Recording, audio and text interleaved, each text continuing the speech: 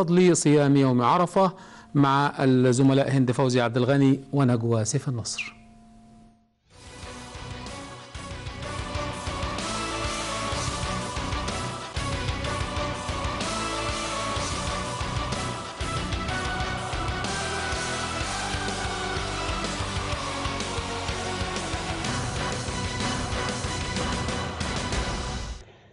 ليوم عرفة العديد من الفضائل التي تندرج تحت فضائل العشر من ذي الحجة.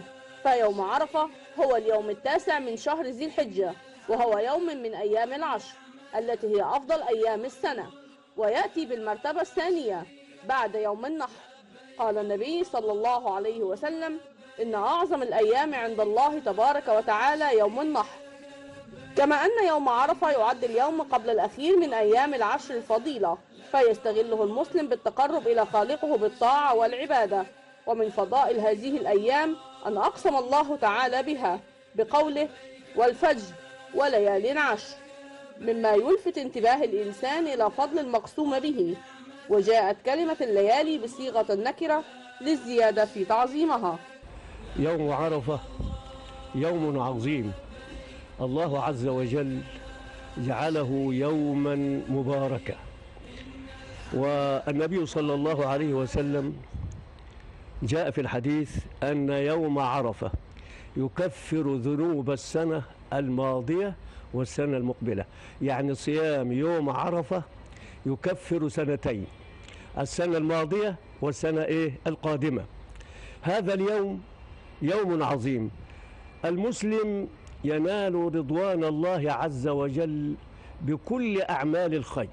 لا يقتصر الأمر على صيام ولا على صلاة ولا على استغفار ولا على صدقات وإنما كل ما يعمله المسلم في هذا اليوم فهو مأجور ومثاب عليه. وأفضل الأعمال لا شك الصيام. فهذا الصيام يوم عرفة يوم عظيم والصيام فيه مقبول. والصيام في الأيام التسع حث عليها النبي صلى الله عليه وسلم وبالخصوص يوم عرفة.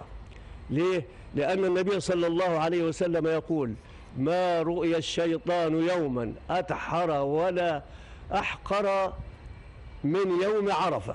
الشيطان يوم عرفة يكون حقيرا ذليلا. وذلك لما هذا اليوم من فضل عظيم عند الله عز وجل. والمسلم مطالب بكل أعمال الخير في هذا اليوم. لا شك أن أعمال التسع أيام من أيام شهر ذي الحجة كلها مقبولة. لكن يوم عرفة بالذات يوم عظيم وهو أفضل من غيره في هذه الأيام. وهذه الأيام كلها مقبولة عند الله عز وجل والأعمال الصالحة كلها مقبولة. لكننا نركز على يوم عرفة بالذات. بيوم عرفة بالذات نركز على هذا اليوم لأن النبي صلى الله عليه وسلم ذكر فيه أن صيام يوم عرفة. صيام يوم عرفة يعني الصيام في في الثمان أيام الماضية في يوم في يوم في شهر ذي الحجة كلها مقبولة. لكن اليوم ده بالذات هذا اليوم يكفر الله عز وجل به سنتين سنة ماضية وسنة قادمة.